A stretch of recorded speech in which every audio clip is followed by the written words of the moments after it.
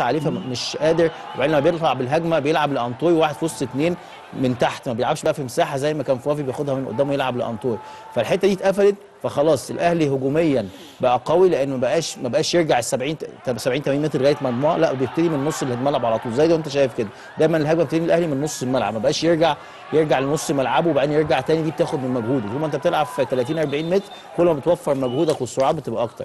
تغييرات كابتن حسام لأنه استغل حالة الدفاعية اللي موجوده للمقصة. ومفيش هجوم وبالتالي شال حسام عاشور وحط واحد ثالث في نص الملعب ولعب بعبد الله بس والسوليه وكل الناس بتهاجم plus هاني و plus علي معلول. كل دي أدوات خلت الأهلي الاكثر انتشارا الاكثر سرعه النهارده بص كمية أنا متهيألي ده أكتر شوط اتلعب فيه عرضيات. إن كان في النادي الأهلي أو في أي نادي في مصر. الشوط الأول الشوط الثاني تحديدا. حوالي لا يقل عن 15 عرضية. إن كان من ناحية اليمين أو من ناحية الشمال. لما تشوف وسط إزاي العرضيات يا سيف محدش بيوصل بالهجمة لوحده. بتلاقي واحد هاني بيلعب الكرة وبيتحرك وتتلعب له من عبد من عبد الله السعيد أو من وليد سليمان الناحية الثانية نفس الكلام.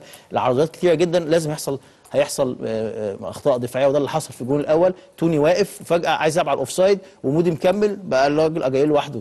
كمية الفرص وكمية الضغط بتولد أخطاء بشكل كبير وده اللي لعب عليه الأهلي. وكان بصراحة شوط عالمي بالنسبة للنادي الأهلي في نقل الهجمة في السرعات. في الحقيقة آآ آآ لا يا كابتن سرعة سرعة سرعة ضغط ضغط ضغط وبعدين من عبد الله السعيد عبد الله السعيد لعبوا على بيبتدي الرتم العالي على لكن طول. هتلاقي في أرمين وليد وهاني عاملين شغل كبير جدا. هتلاقي معلول واجاييه أو معلول وإسلام محارب ناحية الشمال اجاييه في نص 18 كراس حربة.